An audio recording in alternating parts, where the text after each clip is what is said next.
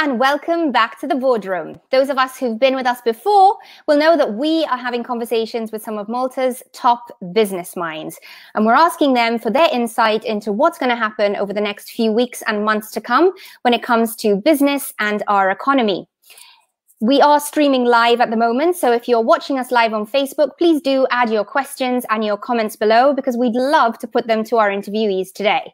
Of course, if you didn't manage to catch us live, no problem. This will be streamed back later on who's who.mt. That's Malta's leading business portal. Now, today's topic is marketing, and we're going to be talking about what businesses need to do to keep themselves in the spotlight. What marketing should they be doing at this time? How is the marketing landscape going to change in the weeks and months to come? It's a topic that, as a PR professional, I'm particularly passionate about. So I look forward to joining the conversation with two colleagues of mine. They are Chris Mifsud.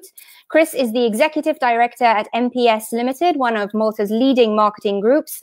And um, he's currently executive director, previously COO and CEO. And Bjorn is the CEO and founder of Think, um, he's a software engineer by profession and driven by a love of creating software, helping clients to transform their offering in the digital world. Chris and Bjorn, great to see you. Thanks for joining us on the boardroom. Thanks for having us, Joe. Hi, Joe. So we're going to jump straight in today. I can see that you're both in your offices, so I don't need to know that you're um, at home or you know how you're spending your lockdown period. And I'd love to know, Chris, first of all, what was the instant response to marketing when COVID hit? What was the first thing that changed in the marketing world? Hi, Joe. Well, basically, um, okay, in our case, we represent clients of different sectors, but, but there was a sectoral lockdown essentially, uh, which was imposed by, by government. Um, and so, whilst it wasn't instant, if your sector was hit or closed down, obviously, one of the fastest, quickest measures you took apart from the HR measure, would be to to con to to to stop or slow down your marketing. I would say significantly. Um, it's a pretty obvious reaction. Marketing usually, at least the, let's say the, the area we're in, is one of the largest items, if not the largest items on our client's income statement. So it's the first thing that you'd you'd you'd uh, curtail. Also because you're not allowed to operate. So if you're a retail, if you're a shopping mall, it's it's it's nearly pointless to keep on pushing that same message. Doesn't doesn't mean that absolutely no marketing was done. Just to give you an idea, our our turnover didn't go to absolute zero. Uh, there are different messages that can go out there, but essentially the, the first impulse is to, to control costs. One of which is is is marketing. After the HR uh, issues were tackled first, most of our clients, including ourselves, uh, addressed the HR, the health, uh, medical aspect to it, and you know remote working uh, protocols and then would tend to, to costs, one of which would be marketing. Okay, perfect. So for those watching us, you might see that we've unfortunately lost Bjorn. We're aware that he was having a few technical difficulties, one of the joys of operating in this new online environment we're living in at the moment. So we hope that if his internet get back, gets back to normal, he'll be able to join us again. And Chris, let's uh, let's continue on our conversations. And and you were sort of you were talking about the fact that people are now watching their bottom lines. Businesses are watching their bottom lines, perhaps yeah. more than they were previous to this. Um, we we knew that maybe 2020 was going to be a game changing year, that things were going to change, perhaps um, you know from the trajectory that we've been on previously. Um, but obviously, this was a total black swan out of left field. So, um, how do you think people are going to react? Are businesses going to market less? Are they going to market smarter? And in today's world, what does it even mean to market smarter? Ah, eh, very interesting, uh, the, the Black Swan reference as well, Joe. Basically, like as you said, 2020, you know, everyone's talking about, okay, it's going to be time to trim the fat. It won't, I always believe that, you know, it wouldn't be any crashes. Um, I just believed it would be a slowdown, which was, which was due. Um, and I think obviously one of the slowdowns would be in, in expenses. But coming back to um, coming back to to the marketing side of things, I think this will this this pandemic will essentially accelerate the smartness of it. It's not all doom and gloom. So digital has seen not growth, but but sustained um, uh, sustained figures being kept in some areas, in some other areas growth as well. Um, uh, but I, I, think this will be will be more of a measure into looking at smarter marketing, as you mentioned, uh, cleverer, more strategic, uh, maybe more on digital. Why not? And it, it, it should be there. We're way past the age of saying, you know, digital should grow. I mean, this is we're talking 10, 12 years ago now. So um, I'd, I'd, be very interested to see what Bjorn has to say, obviously. But I think it will be a question of smarter, better, stronger, and also maybe more real. Uh, maybe it's maybe it's it's a good time for now for brands to echo really what's at their core and cut the trim the fat, so to speak, cut out the frills, and and be very true to what they represent in the story they're telling. Absolutely. Thanks for that, Chris, and welcome back, uh, Bjorn. Don't worry, we explained internet challenges of the moment. Thanks for, for coming back. And um, in fact, I'll come over to you, Bjorn, to talk to us a little bit about about the digital side of things. You know, in Malta, um, we find that you know while abroad, digital has been huge for a long time. Yes, locally it's been growing, but maybe we haven't taken the quantum leaps, especially amongst SMEs um, that other countries have taken. So, just explain to us what is a digital transformation and, and when is the right time to switch your offering to digital? Well, uh, I think now clients are starting to appreciate um, digital transformation. So basically, it, it is um, transforming all your inner workings um, to the digital world. So changing all uh, all processes, etc. I think now clients are actually appreciating um, what we used to try and drill drill in and and tell them, listen, you need to go digital, you need to change your processes, you need to use the the web as as a different channel. Um, and you've got people like insurance agencies now who, who are thankful that they have online quotes. You can uh, renew your policies online. You've got um, online shops, obviously, that that uh, allow you to, to to buy products and get them delivered home. And now clients are also appreciating the, the, the comfort of having to do this from the from, from the home. So they don't have to waste time to go to the shop and come back. Um, they can choose the, the right shoes uh, during the night. So so I think businesses will now start appreciating, and this will be a, a, a shift um, uh, when it comes to, to, to the online business. Absolutely. And Bjorn, maybe you can go into a bit more detail. What does this look like? You know, a company who's out there thinking, right, I want to get started on my marketing online. I do want to take the shift digital, maybe not entirely, because we know that in Malta, some traditional methods are still extremely strong. Yeah. Um, but, but, you know, I want to take that leap. I want to start. Where do I do, where do I make that change, first of all? Well, I mean, digital isn't for everyone. So, so there are companies which will find it more difficult than others to offer what they currently have online. So let's let's take for example doctors.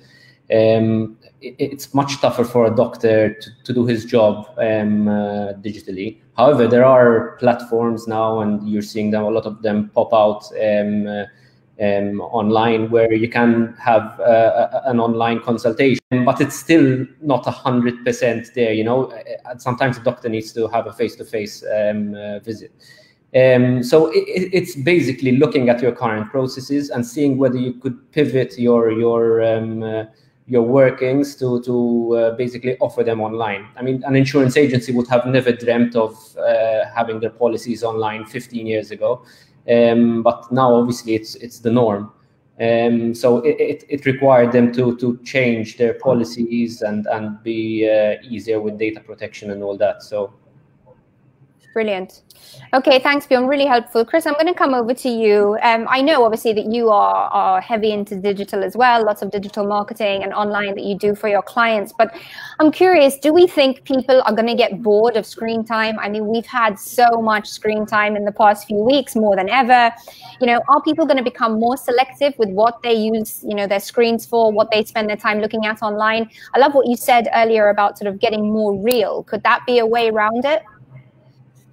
Yes, uh, uh, Joe. Obviously, there, there's a bit of a, what we call a media glut. This happens every five, four years or so with elections, with World Cups, with, with, with unfortunately, you know, tragedies or big where there's a big news item. There's a media glut, so there's a bit of an overload.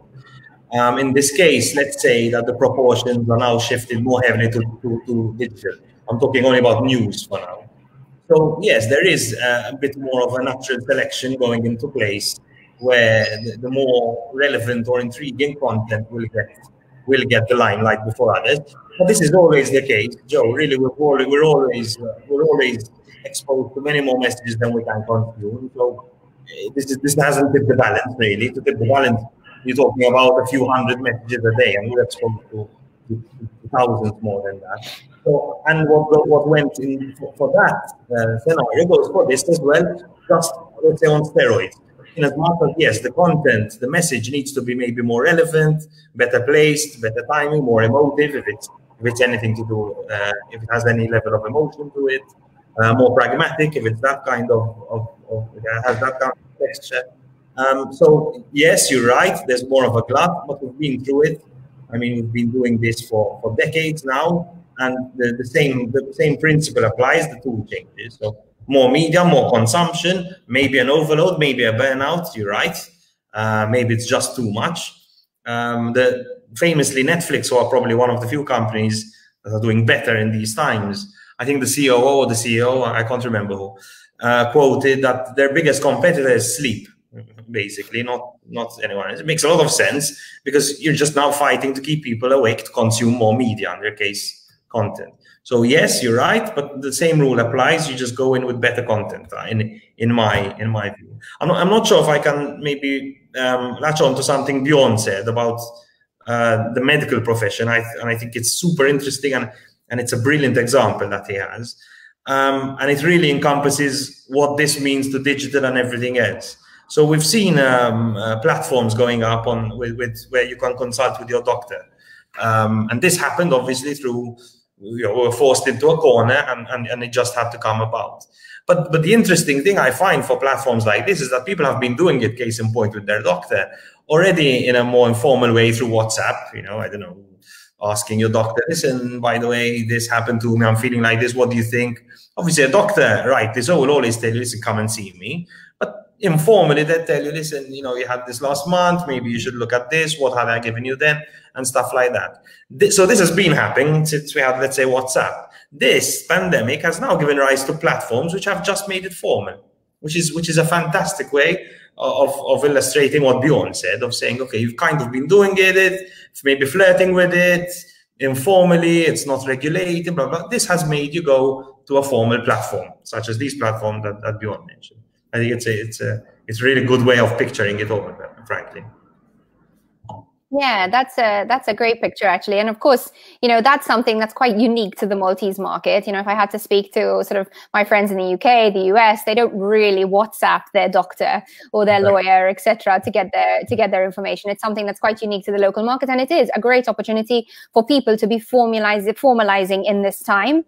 Um, uh, we're also seeing, um, uh, I don't know if you'd agree, Chris, with the with the power of niche and how important niche is coming. A bit like what you said about talking directly to a particular particular consumer. I think in Malta we sometimes suffer from um, uh, the issue of trying to be all things to all people. Whereas I personally feel that marketing going forward in the really busy online space, we're going to have to get better at really targeting our marketing to specific people in our audience. Um, what are your thoughts on that? Yes, you're right. Unfortunately, however, Joe, this is a contradiction of the Maltese economy, I would say. Mm-hmm. So you can either be so so in Malta, a lot of businesses, groups of companies, privately held or not, uh, tend to diversify. It's very popular. It's it's also done abroad, so like it's done only here. But being such a small market, um, uh, going niche or specializing usually doesn't give, let's say, the, the ambitious profits or expectations that diversifying means. It can lead to, you know, being trying to be all things to all to everyone and, and, and you know master of none but it's not unusual that, that you do that here. So there is a contradiction where i totally agree with what you're saying and in terms of messaging and marketing you should you have to be very relevant to, to your audience. Um, i always use an example you know with internally and, and with and with clients if you can ask one question to someone giving giving a brief it will be who's your audience you if you're only given that one question to because that will make you tailor make a very well message. So yes, ideally you do hear but you will there is a commercial competition to it in that if you go too niche, either too costly or you're talking about it, splitting hairs so much that doesn't have uh, a, a critical mass to make it easy. Okay. Absolutely. And um, we're seeing sort of globally pe- people talking about obviously a slowdown in a slightly positive way as well, a slightly yes. um, less fast-paced uh, lifestyle, um, maybe less consumerism. Um, Chris, how do you think that's going to affect the marketing sphere? Yes, well, on a, on a social level, you know, perhaps you could ask, maybe we needed it. Maybe we needed to cool down both on a national level and maybe even globally. The obvious winner being the environment, which is possibly the most important winner in all this uh, participant in this race, frankly. But but anyhow, um, so maybe a, a, slowdown, a time to think, even at a business level, is uh, is is never a bad thing. Um, obviously, what what remains to be seen uh, is the is the rapidity of, of picking up back to our old ways, the good and the bad. I, I think, um, and you know, if you, if you look at if you look at again talking economically over the past forty years, uh, usually demand has caught up with capacity and growth goes back within 10 to 18 months. Now, obviously, you're comparing a pandemic to a, a recession, so you know, but, but we can only go on the data we know. So usually 10 to 18 months is what it takes for demand to catch up with capacity and for growth to start. So let's say we dug ourselves out of the hole and started climbing up. Obviously, it's anyone's guess, Joe. It's it's, it's a very um, you know very difficult um, bet to make. But yes, I think looking at how how how we reignite, I think it will change. I do agree with this new normal, even though it's just a buzzword, very because of our industry at least buzzwords. But it, but it will be true. There will be a new a new normal. I frankly think it's quite exciting. A new normal. I don't think I mean, you know, you can't be complacent in any business, least of all in the business that Bjorn and I are in. I mean, there's, there's no way you can be set in your ways. You can you can try and latch on as much and hold on as much as you like, but you'll be caused by the wayside. And I think there will be good opportunities, exciting new ways of doing things. And it will be interesting to see what clients think about what their new way is going to be and what we are going to advise them from what we see in the environment, uh, in the media environment out there. So that, I mean, that's at least I'm not sure if I answered your question, but I noticed. No, absolutely. Very, very interesting. Um, I'll just segue slightly and to say to our viewers that if you would like to ask um, any questions or have any comments for our interviewees today, please just drop them below on Facebook and we'll try to get to them shortly. Bjorn, welcome back again. um, uh, while we've got you, don't worry. Um, I'm curious to know what you think um, the future of online campaign, campaigns look like. Um, so obviously, we know where we are at the moment. We know that we're in a, a very busy space online. Um, you know, what are these campaigns going to look like as we go forward, and how should people be splitting their budgets? Obviously, speaking specifically about online. Well, I think uh, budgets are going to reduce, um, whether it will be uh, reduced from uh, conventional marketing um, and increased into digital. Um, so I think people need to be smarter with with uh, where they spend their money. Um, so I, I, think one of the ways to, to, be smart is to be agile. Um, so basically react to um, the data that's being driven into the business, whether um, uh, one way of marketing and one avenue is, is better than the other and shifting all your budget towards that that that channel. So for example facebook is working whilst uh, linkedin marketing isn't working. And so so i think uh, it, it's going to be a smarter way of, of of trying to market your product. We're seeing for example a, a big shift into um, investing into uh, loyalty programs for example where clients know that um, winning over the client once um, and then have a target audience you know to market in the future. So so i think the future of marketing is that it's trying to be more intelligent uh, with spending your money and um, to have a, a better roi basically return on investment Absolutely. And and with that in mind, I mean something that we've really been noticing in this shift to online, Malta, we we we so often think only of Malta as our market. And of course some businesses do only have Malta as their marketing, but as their market. But with this massive shift online, can we be looking overseas for for some of our success? Are there opportunities for Maltese companies who previously were only operating in the local market to now widen what they're doing as an operation? Chris, I'll come to you first. Yes, it's in fact in the past few years, Joe, I'm sure Bjorn has come across this, especially in, in the digital field. We used to say, stop thinking of Malta as a as too small as too small because over the past two years the population has grown the economy was doing pretty well uh, a few still a few months ago so we used to so we had a lot of either clients or businesses we're involved in or or, or, or partnered with would say listen you know let's not just throw Malta away we're too small let's you know uh, because it was it, it was becoming a decent market so what it would might have make its size would would would fall there would make up for in value per capita Obviously, what that means is that then it's even easier to transition uh, globally. And yes, Malta has great talent, there's great creative uh, equity in, in, in, in, our own psyche. We are survivors by very nature. We are very adaptable as, as, uh, as, as people and as even as business players. We're hugely adaptable, uh, I find, which, which makes for, you know, better, a better, better survival rate. And I think that will this is the talk that was going on before. I find that listen, Malta is a decent market. Let's crack it. Let's make a good return from Malta and then take it abroad or do it at the same time. And I think that this will keep on going. In, in your in your example, obviously, uh, you, you, you might have people saying, okay, now we have to do that because we didn't have we don't have a choice. But I'm pretty certain that most business owner, owners in Malta have always tried to, you know, cross our shores if they could, even in good times. It's not uh, it's not really something of about you know we have enough revenue here. Let's let's leave it at that. You, are always looking to expand globally. Obviously, digital allows you by its very nature that to make a success locally and simply. Yeah, simply is really not the right word, but but theoretically switch to, to a global market. You can do that, and that's one of the biggest amazing, uh, the, the most amazing features of digital. So yes, I think we'll see more of it out of necessity, because the market is now too small here, and some of it more out of bold innovation, which is what what we're used to and what we like to see. Absolutely. And I'm just going to dial down on that at the moment. You know, for you, if you were advising a client at the moment, obviously it totally depends on the niche. It totally depends on their market.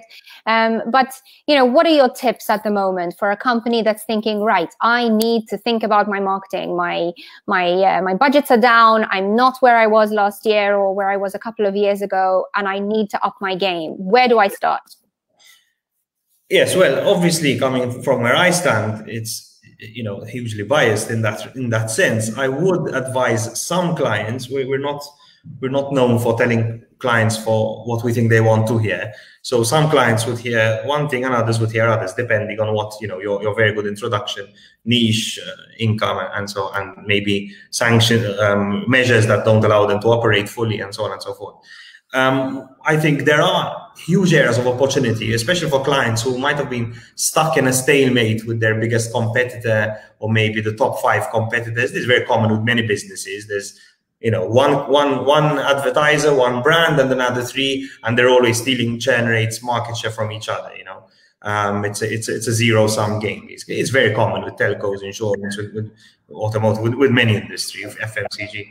Um, I think this is a, a, way of shaking up, shaking the boat. So finally getting, um, you know, leveling. It's kind of like a like a forest fire. It you know burns everything in its in its but in its wake, but leaves a lot of fertile soil. So this is is an opportunity to get back in touch with an audience, maybe reposition yourself, make up for some past gaps that you had, and sell yourself uh, for what you really are, and reach out to the audience in a very genuine way. I also think that you know audiences are just people like you and I and Bjorn Joe, not no one special. I also think that um, you know com the community at large will know who was there for them when they needed them and when and when they didn't. So, and I think brands have a responsibility to be there for the good and the bad as well. So they they, they also need to keep being positioned, and if they want to uh, leverage the fact that they have I don't know 50, 60, 20 year history they, they need to leverage the fact that they still that they will weather this storm as well uh, with their with their customers.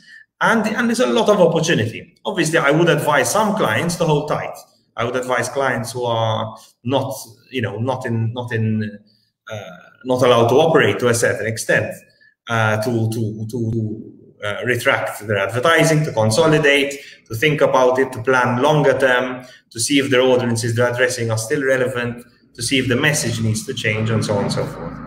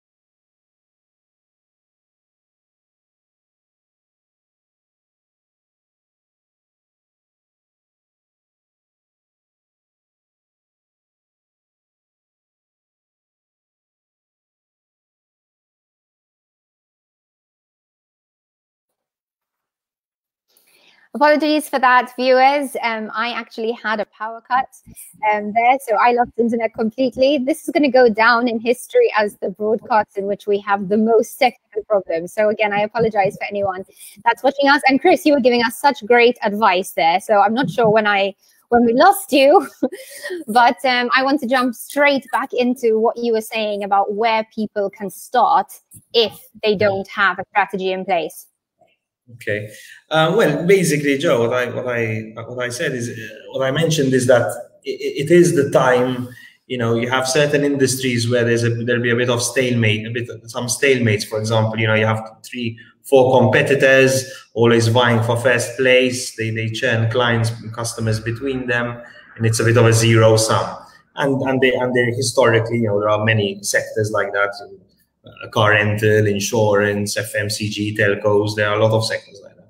And something like this, you know, kind of rocks the boat and and changes the landscape a bit. Uh, um, you know, like a forest fire I mentioned, burns down everything and leaves some fertile ground. And that could be a good opportunity for, for, for business, for brands in those sectors to reinvent themselves, fill in some gaps that they had, which they never addressed, realize what gaps that they had and do a good analysis and push themselves and maybe change and, and come out of this in a different position than they were above. You just shake things about basically and get out of ruts and complacency and, and, and give some new wind in their sails. Obviously, this costs money. And then there's the other counter argument that you know a lot of brands are, are feeling the pinch uh, because of the reduced uh, spending that there is.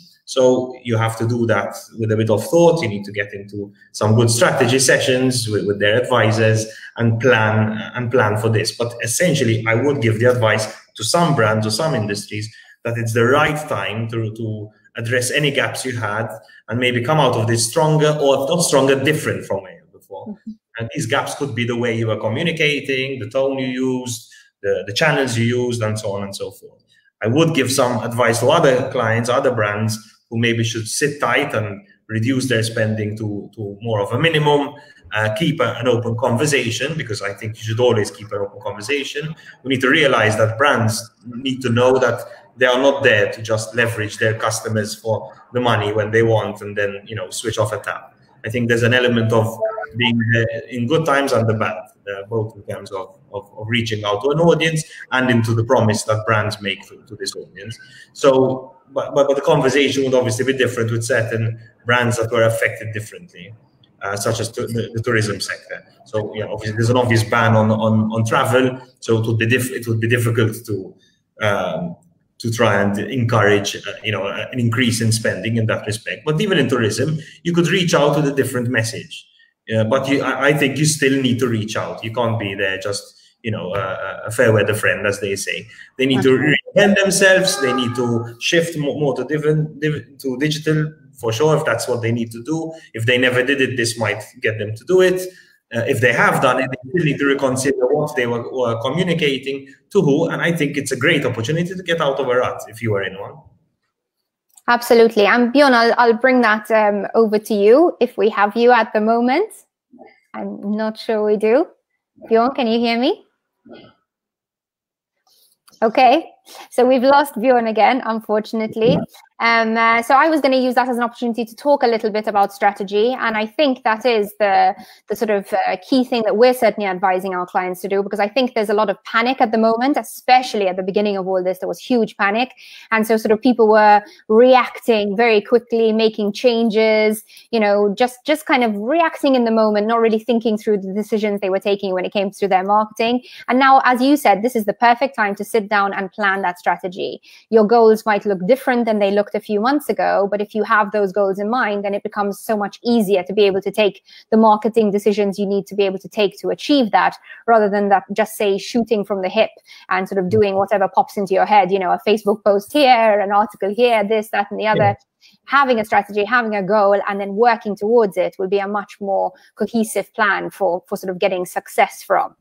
Um, Chris, I'd love your thoughts on, on any campaigns, perhaps international campaigns that stand out in your mind at, at the moment. I mean, to me, you are the advertising guy. I think of you and I think of sort of really great advertising strategy. What have you been seeing online and just thinking, wow, that works? I, thanks for that, first of all. And secondly, I, I, think, you know, the ones which have really stood out are the more emotional ones. I mean, we, we a lot of a lot of our clients, a lot of businesses um, deal in a commoditized sector. So essentially, meaning that the, the product offering, the product itself, is really very different one from another. So the phone call between I don't know one telco operator and the other, the actual phone call is, is not exactly different. It's the emotional bond essentially that the brand builds with its audience, with its customers, that that takes off that removes that commoditization and gives value to the brand. And i think this is true of many industries. So in, in my eyes the ones which have stood out more uh, even though we're now getting a bit tired of them unfortunately it's it's a terrible thing of human nature that we the novelty wears off pretty rapidly in, in many things unfortunately but that's just the way we are. Uh, which are more emotive of airlines for example saying listen we'll be back. You know this will pass and reminding people of the good times they had a lot of tourist destinations, including Malta, showing empty beaches that ironically look better when they're empty. Um, uh, but but obviously we need the tourist numbers to fill them. Uh, saying you know this is you know it's still out there, it's still beautiful, even though there's the zombie apocalypse out there. It's still you know the, the, the beach and the sun and the sunrise and the sunset and the beautiful landscapes are still there. I'm not talking only about Malta here.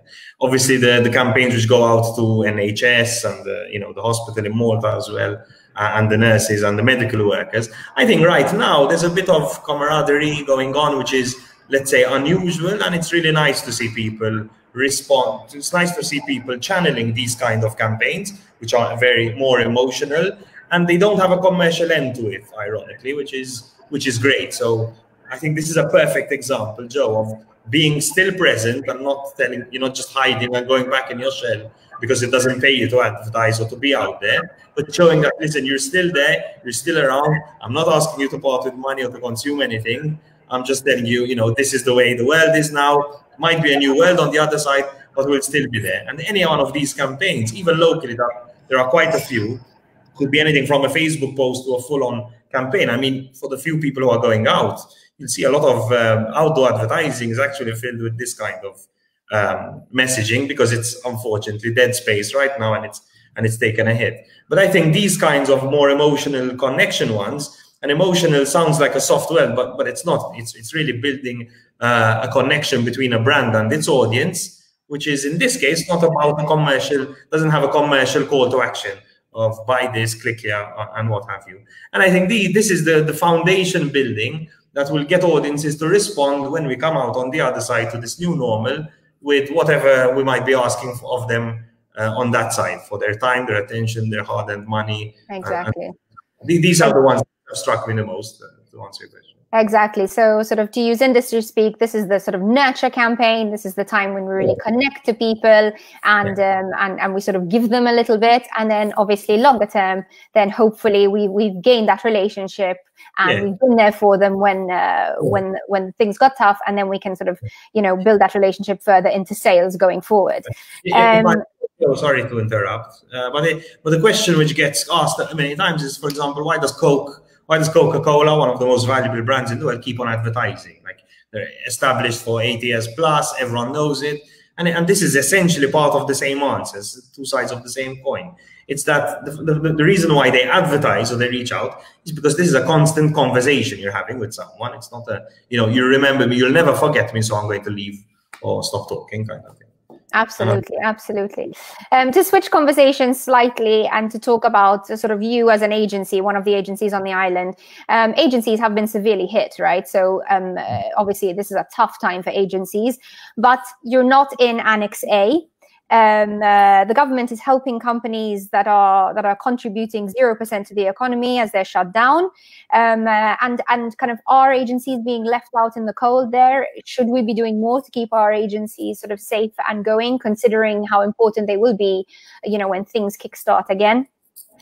Uh, it's a it's a good question. Obviously, very relevant, and I'm going to give you a very biased answer. Clearly, as, as you are in the same industry as us, so you know it applies to you to you as well, and, and that's and that's the truth. But um, really, I mean, agencies or the, the extended creative field, so agencies, content writers, videographers, and digital and social managers, and so on and so forth, are still a very small part of the economy. So if you have to group all of us all together, even with the extended, you know, freelancers, we're still talking a blip in, in, in the GDP. Um, so my, my opinion, really, what applies to me, to us, applies to frankly anyone um, who is directly, and I won't use the word indirectly, directly exposed to some a shutdown like this because you know we're looking at the flights having stopped, tourism having stopped. This pandemic is nothing if proof that the country is essentially totally reliant on, on tourism. Um, I, for example, do not work directly for so I think I have very few clients that I work with directly in the tourism, so hotels. And if we do, we have some work, but it's not. It's not. It's the relevance isn't there. The relevance is that because these uh, these sectors have stopped, essentially within months, then the country stopped. Agencies, for what it's worth, to, together with another list, are on this famous Annex B, which is a measure um, issued by the government of, of, of helping of helping uh, of giving wage supplements I, I, think the bigger, the strongest case for this going on this famous Annex A, which is uh, significantly higher, is that it gives you more runway. This is now a conversation and has always been since the pandemic started of runway. So of burning through cash, liquidity, profitability is, is not even being spoken about for now because it's it's we're, we're still far away from that of burning through liquidity to make sure you can get out of this alive and slowly slowly as the measures start relaxing as they started relaxing last week with some retail opening hopefully we'll ca catch up again in my book at least the way i see it is that if there is help it should be universal because that will only allow us to kickstart faster otherwise if some start faster than the others then the others have a time lag and you know they were not all kickstarting the economy at the same time I think this is just a question of of you know burning through the months.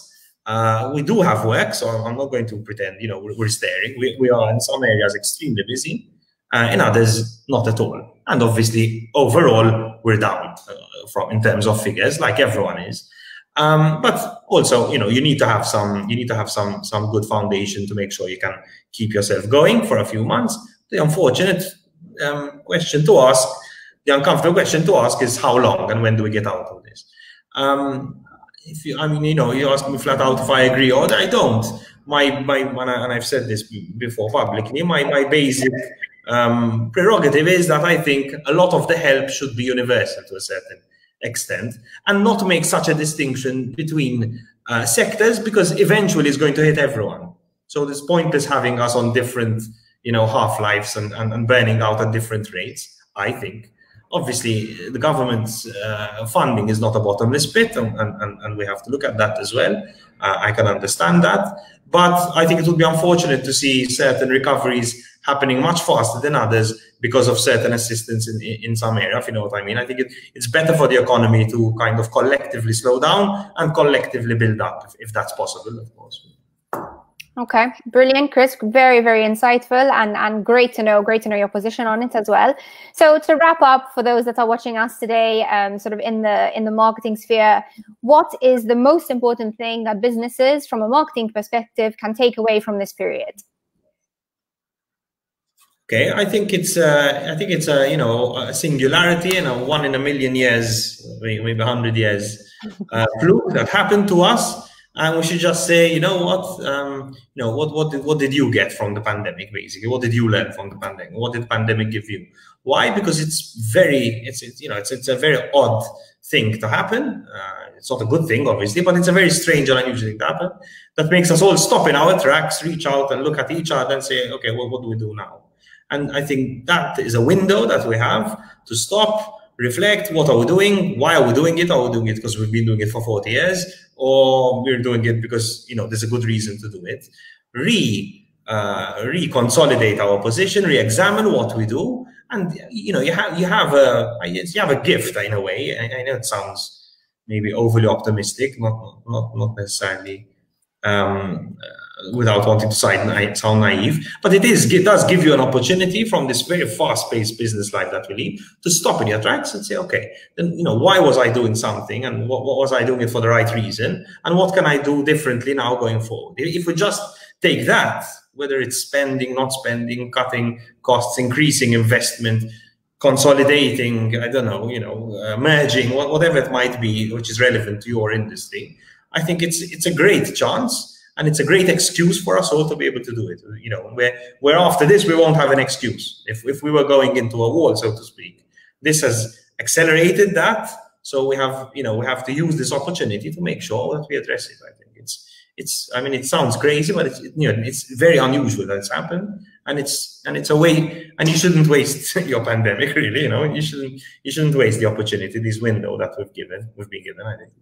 Absolutely, great. Aside from all the negative medical and horrible things which are happening, I mean, you know, it's not the right forum, but but that's yeah. Absolutely.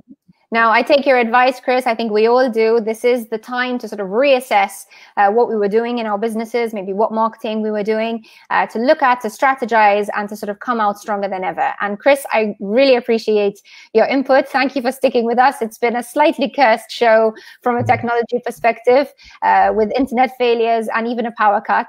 Um, uh, but thank you for being with us.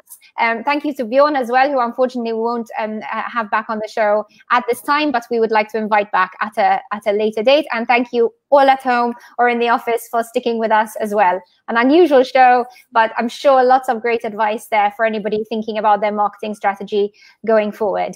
Um, this was the boardroom. If you didn't catch it live, you can do so on who's who.mt, where it will be streaming and you can share it with friends and colleagues. And we hope to see you for our next episode, which will be on Friday on the boardroom. Thank you very much.